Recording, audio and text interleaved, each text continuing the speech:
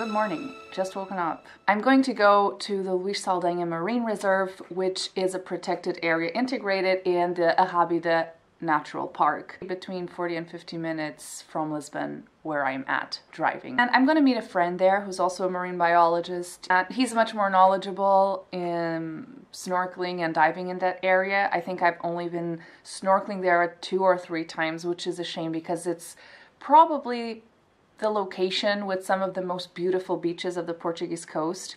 And that's saying a lot because the Portuguese coast is almost all of it insanely beautiful. Uh, the downside of this loca- particular location is the water is usually much colder than anywhere else. And it's still winter in Portugal, so right now outside it's 9 degrees Celsius and the water is around 16 degrees Celsius, which is not bad.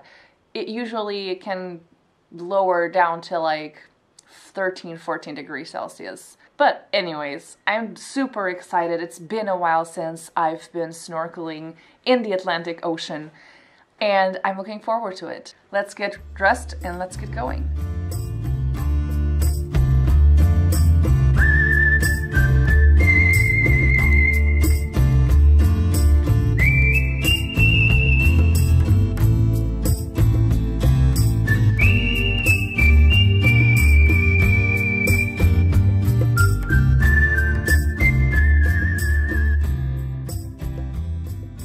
So we've arrived in the Arrábida Natural Park, which is all around here.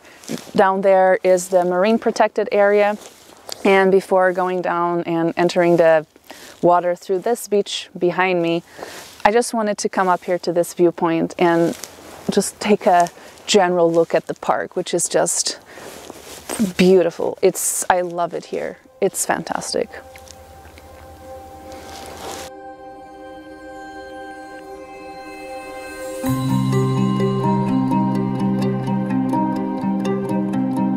In 2003, it was suggested that fishing rules and restrictions should be implemented in some of these areas around here at the coast in order to preserve the rich biodiversity of this location. And of course, back then there was a lot of backlash from the fishermen community, which which livelihood depends on fishing in these areas. So they were afraid that by having these restrictions, they would not be able to fish as much. Car coming, need to wait. Therefore, their livelihoods would be taken away from them. But those restrictions were implemented, so there are areas around here where fishing is forbidden, and there's other areas where fishing is highly controlled. But what we have been seeing over the years is that now fishermen are catching more fish and bigger fish.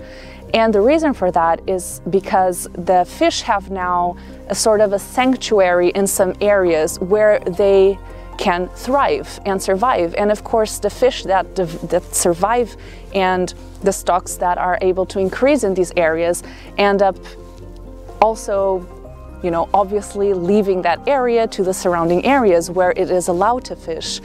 And what happens is because they have this sanctuary, the fish populations can are able to grow in opposition to what was happening before, in which they were being overfished and their numbers were decreasing substantially.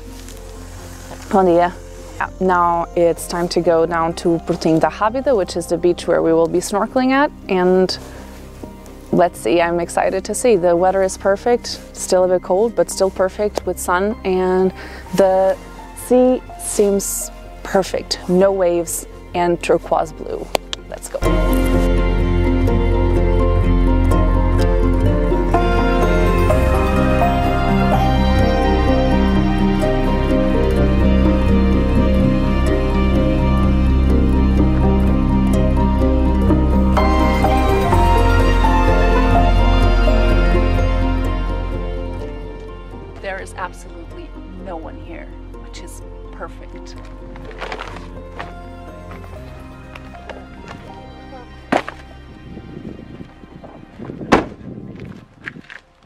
Well, it is cold in the shade a bit, but it's sunny, blue sky, fantastic.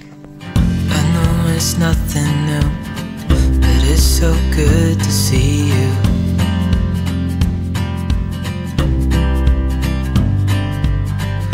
do this every day And And I'm still so amazed by you.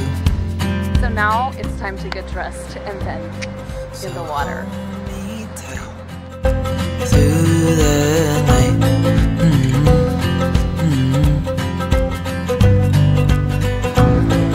It's This is the least fun part about all of this, me and you. putting on this suit. Oh,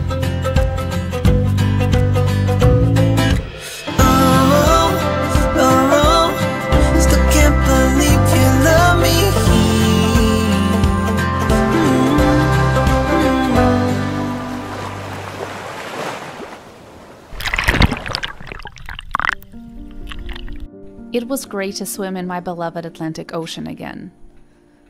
Unfortunately, the underwater footage I took does not really do justice to the beautiful animals and algae we saw.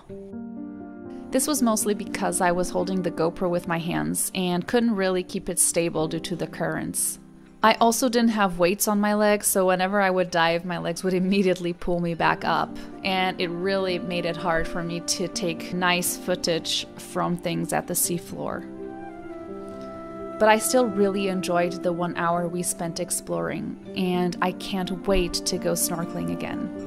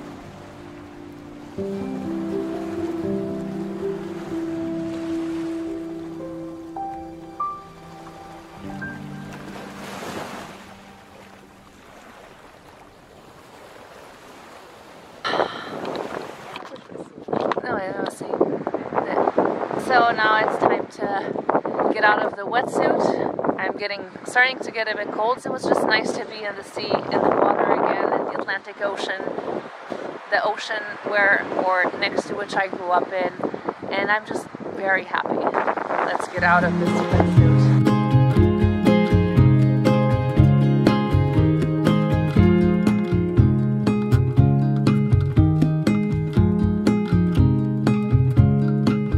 Afterwards, I talked with Miguel for a while about everything we had seen. Unfortunately, it was too windy to record a conversation. But Miguel told me that the last time he had been snorkeling here, he saw many more fish than what we saw this time. We don't really know why. It might have just been a result of the conditions of this particular day, or maybe it's because it's winter and generally this area has less fish during this season, but we actually just don't know. I was still pretty happy with having seen the things I saw, and I think we were both very happy to be able to explore the underwater world of this natural park.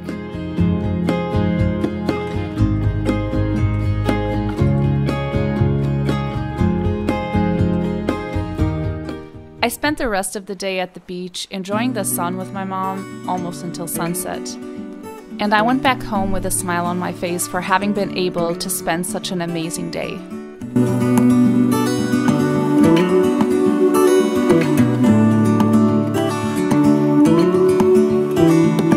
Look ahead, the sea is and I know we've been through a lot, but just wait. Mm, wait for better days to come and carry us like wind